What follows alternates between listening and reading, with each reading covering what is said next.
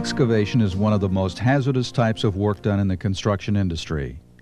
Excavation accidents occur frequently and tend to be more serious than construction accidents in general. The primary type of accident of concern in excavation related work is a cave in. The actual number of cave in accidents is not large when compared to the total number of accidents occurring in all of construction. However, those that do occur tend to be of a very serious nature. The National Institute of Occupational Safety and Health, NIOSH, conducts research on various safety and health problems, provides technical assistance to OSHA, and recommends standards for OSHA's adoption. In a recent report prepared by NIOSH based on OSHA's inspection data, it was estimated that at least 73 persons were killed each year in cave in accidents, and at least 97 persons were killed as a result of all excavation related accidents. This program presents an overview of OSHA's requirements for protection of employees in excavations. OSHA's excavation standard is contained in its Code of Federal Regulations for the Construction Industry, 29 CFR, Part 1926. The standards found in Subpart P consist of three sections. Section 1926 650 contains the scope, application, and definitions applicable to Subpart P. Section 1926 651 contains general requirements, and Section 1926 652 contains requirements for protective systems. There are also six appendices, A through F. OSHA's excavation standard defines excavations to include trenches. The standard states that, in general, the depth of a trench is greater than the width, but the width of the trench, measured at the bottom, is not greater than 15 feet. OSHA Standard 29 CFR 1926 651 contains requirements for the protection of employees against several different types of hazards of excavation related work. Let's look at some of these. All surface encumbrances, such as trees or boulders, that are located so as to create a hazard must be removed or supported to safeguard workers.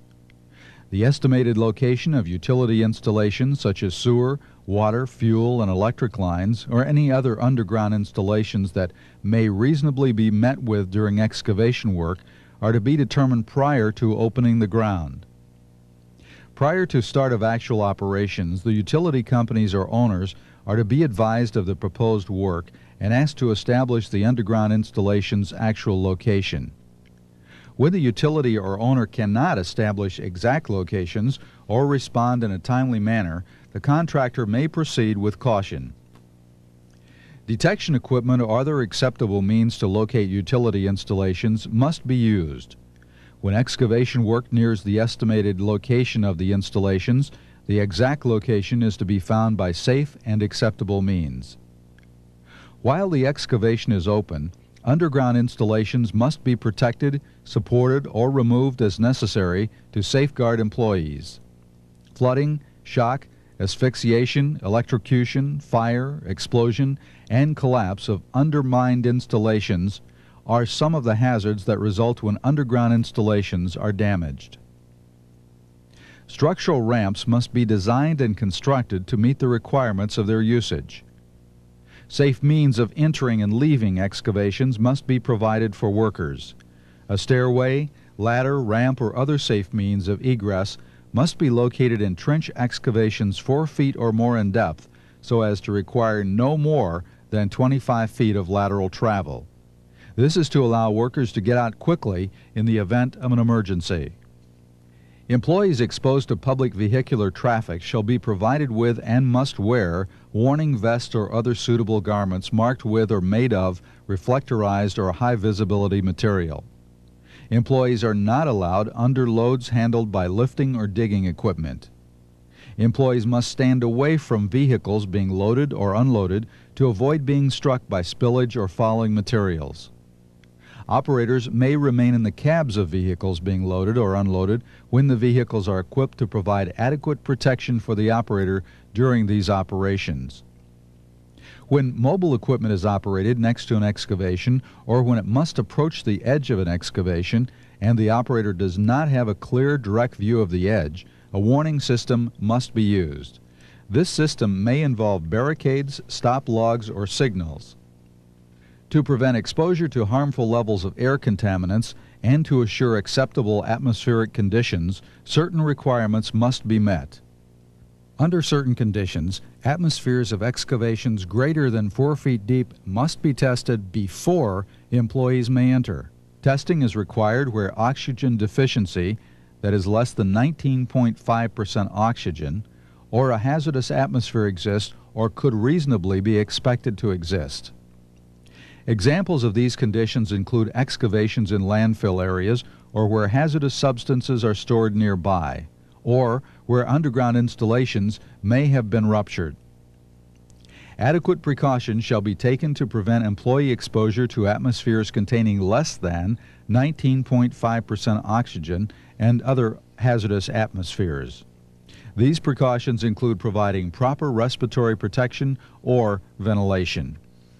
When controls such as ventilation are used to reduce the level of atmospheric contaminants to an acceptable level, Testing is to be conducted as often as necessary to ensure continuing safety. Emergency rescue equipment such as breathing apparatus, a safety harness and line, or a basket stretcher must be readily available where hazardous atmospheric conditions exist or can reasonably be expected to develop. This equipment must be attended when in use. Employees entering deep and confined footing excavations are to wear a harness with a securely attached lifeline. The lifeline is to be separate from any line used to handle materials and is to be individually attended at all times while the employee wearing the lifeline is in the excavation. Water is very likely to be present during the course of work in many excavations and is one of the major concerns during excavation operations. The action of water against the sides of excavations can cause undermining and cave ins. The presence of accumulated water in or around excavations must, therefore, be treated with caution. Employees shall not be permitted to work in excavations where water has accumulated or is accumulating unless adequate precautions have been taken to protect them. Necessary precautions vary with each situation but could include special support or shield systems or water removal. If water removal equipment is used, the equipment and its operation must be monitored by a competent person to assure continued proper operation. If excavation work interrupts the natural drainage of surface water, diversion ditches, dikes, or other means must be used to prevent surface water from entering the excavation and to provide safe drainage of the adjacent area. Workers may also face hazards where the stability of adjacent buildings, walls, or other structures is endangered by excavation operations. Support systems such as shoring, bracing, or underpinning must be provided to ensure the stability of such structures for the protection of employees. Excavation below the level of the base or footing of any foundation or retaining wall that could be reasonably expected to pose a hazard to employees is not permitted except when the excavation is entirely in stable rock or a support system such as underpinning is provided to ensure employee safety and stability of the structure or a registered professional engineer PE has approved the determination that the structure is far enough away not to be affected by excavation activity or that such excavation work will not pose a hazard to employees. Sidewalks, pavements, and appurtenant structure may not be undermined unless a support system or another method of protection is provided to protect employees from possible collapse. Employees must be protected from loose rock or soil which might create a hazard by falling or rolling from the excavation face. Materials and or machines may become hazardous if measures aren't taken to keep them from sliding or falling into an excavation where employees are working. Protection of employees from materials or equipment which could fall or roll into an excavation shall be provided by keeping them at least two feet from the edge of excavations, or by the use of adequate retaining devices, or by a combination of both if necessary. Daily inspections of excavations, the adjacent areas, and protective systems must be made by a competent person for evidence of a situation that could result in possible cave ins, failure of protective systems, hazardous atmospheres, or other hazardous conditions. Excavations subject to heavy rain runoff are to be inspected by a competent person and, as necessary, precautions instituted to protect against the hazard. Inspection shall be made after every rainstorm or other hazard increasing occurrence. The competent person shall make inspections prior to the start of work and as needed throughout the shift, as well as after every rainstorm or other hazard increasing occurrence. These inspections are only required when employee exposure can be reasonably anticipated. Where employees or equipment are required or permitted to cross over excavations, walkways or bridges with standard guardrails must be provided. Excavation safety requires pre planning. Let's take a look at some other areas where anticipation of possible hazards can help avoid accidents and injuries. OSHA Standard 29 CFR 1926 652 contains requirements for the protection of employees from cave-ins through the use of protective systems. OSHA requires that each employee in an excavation be protected from cave-ins by a protective system except when excavations are made entirely in stable rock or excavations are less than 5 feet in depth and determined by a competent person to show no indication of potential cave-in. OSHA divides protective systems into two categories sloping and benching systems, and support systems, shield systems, and other protective systems. The use of either of these categories of protective systems requires the choice of one of four design options. Let's first look at the allowable options when choosing sloping and benching systems. The options include allowable configurations and slopes, the use of appendices A and B, designs using other tabulated data, and design by a registered professional engineer. The first option specifies allowable configurations and slopes. Any excavation less than 20 feet in depth may be sloped at an angle not steeper than one and one half horizontal to one vertical, 34 degrees measured from the horizontal. Such slopes meet OSHA's requirements for worst case soils, type C, as defined in 29 CFR 1926, subpart P, appendix A. The second option involves the use of appendices A and B, maximum allowable slopes and allowable configurations for sloping and benching systems are set forth in appendices A and B. The third option when choosing sloping and benching systems involves the use of tabulated data, such as tables and charts. The tabulated data must be in written form and include selection criteria, limits on data usage to include the magnitude and configuration of slopes determined to be safe, explanatory information necessary to aid the user to make correct selection of protective systems, and the identity of the registered PE who approved the data. At least one copy of this data must be kept at the job site during construction of the protective system. The fourth option involves the design by a registered professional engineer. Designs must be in written form and must include the magnitudes and configurations of slopes and benches determined to be safe for the project, as well as the identity of the approving PE. The second category of protective system prescribed by OSHA to protect employees from cave-ins involves the use of support systems, shield systems, and other protective systems. The use of this category also requires the choice of one of four design options. The first option is to use appendices A and C or D. For timber shoring and trenches, Appendix A, soil classification, and Appendix C, timber shoring, are to be used. Hydraulic shoring of trenches calls for use of either Option 2, manufacturer's tabulated data, or Appendix D, aluminum hydraulic shoring. Appendix D is to be used when manufacturer's tabulated data are not available. The second option is to use manufacturer's tabulated data.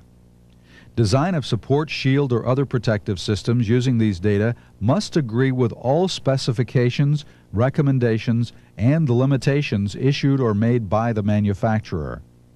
Deviations are allowed only with the manufacturer's specific written approval. These data are to be in written form and kept at the job site during construction of the protective system.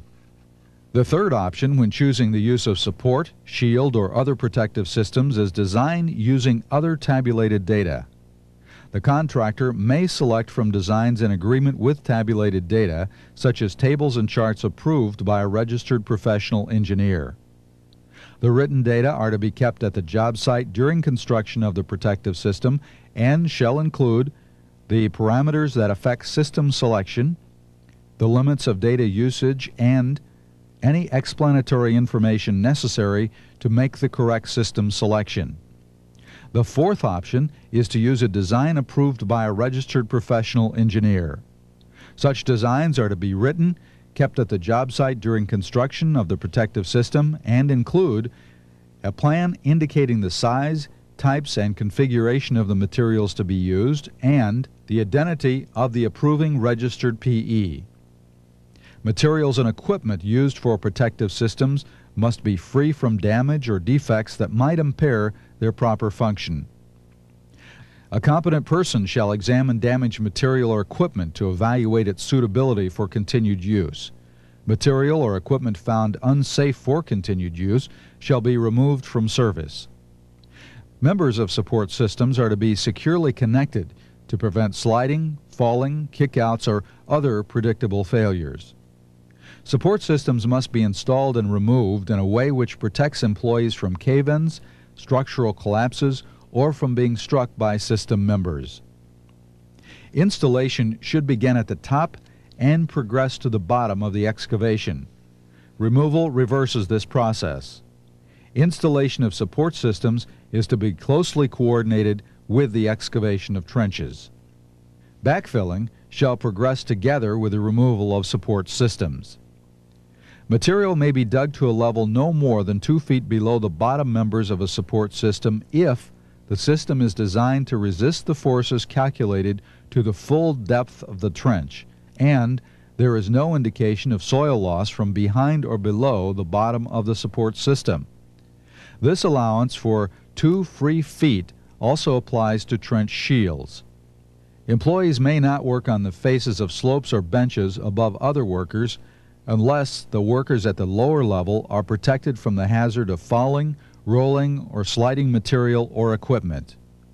Shields shall be installed in a way that will restrict lateral or other hazardous movement of the shield in the event of sudden lateral pressures.